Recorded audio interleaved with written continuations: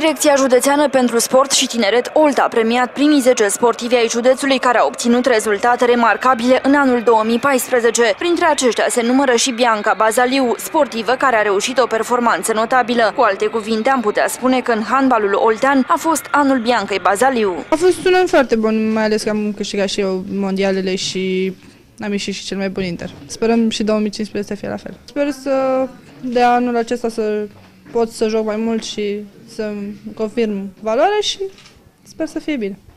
Pentru 2015 ce-ți dorești?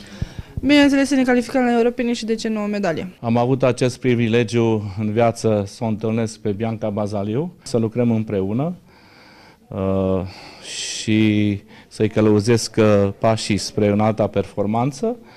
Drumul nostru comun continuă. Antrenorul secund al lotului național de tineret, Gavril Cozma, spune că 2014 a fost unul dintre cei mai buni ani din cariera sa. Un an foarte bun, din moment ce în uh, panoplia medaliilor internaționale la nivel de lot România am reușit să am și aurul.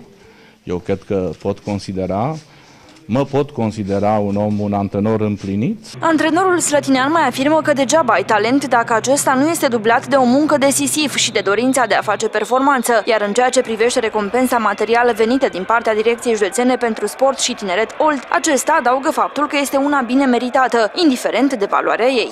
Cred că uh, din uh, puținul pe care le are Consiliul Județean pentru Educație Fizică și Sport, a fost o inițiativă bună.